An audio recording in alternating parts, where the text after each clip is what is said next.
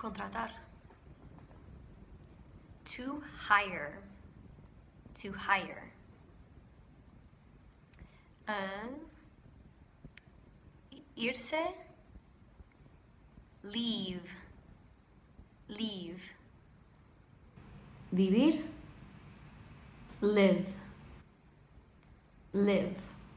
So we had leave and live.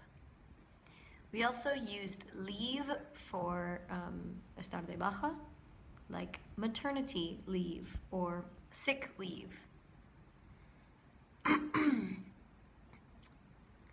Um, ¿Por qué quieres ese, este trabajo?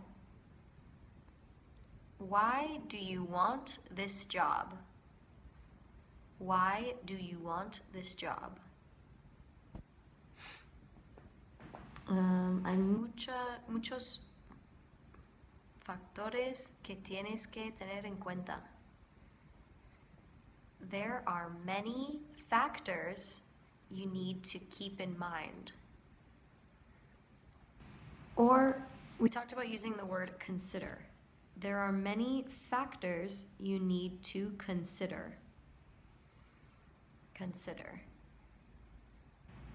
So, a synonym for keep in mind, to take into account.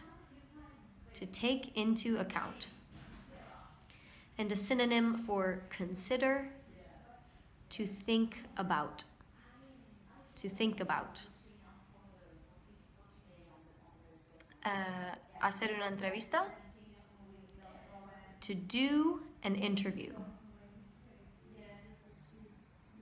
Hacer una selección.